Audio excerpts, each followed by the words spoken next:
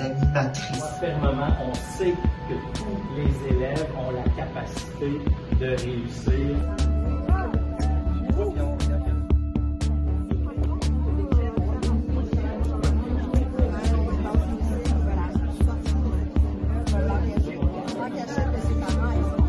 C'est des projets collaboratifs, c'est-à-dire que chaque enfant fait un bout de quelque chose. Parents bénévoles, merci. On ne cesse de le dire. Si vous n'étiez pas là, la base ne serait pas, pourrait pas être construite. Comment on va intégrer le service de garde euh, dans euh, la bibliothèque?